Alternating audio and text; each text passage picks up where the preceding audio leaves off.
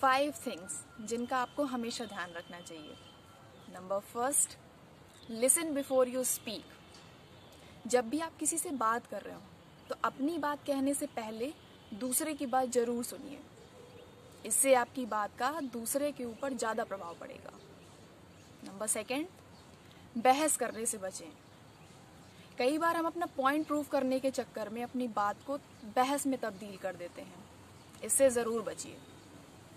Third सही शब्दों का प्रयोग। जब भी आप किसी से बात करें तो गलत शब्दों का प्रयोग से बचें।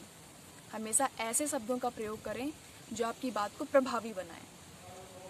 फोर्थ, बात करते समय अपने फेस पर हल्की सी स्माइल रखना। अक्सर हम अपने इंटरेस्टिंग कॉन्वर्सेशन को चेहरे के एक्सप्रेशन से बोरिंग बना देते हैं। इसलिए जब भी बात करिए, चेहरे पर थोड़ी सी स्माइल ज़रूर रखिए। फिफ्थ जल्दी जल्दी बात करने से बचें।